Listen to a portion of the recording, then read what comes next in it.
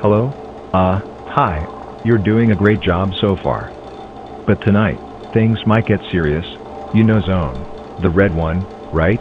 Well, he will start moving tonight along with Joey, Prism, and Pete. Just stay safe, alright? Good luck, and don't die.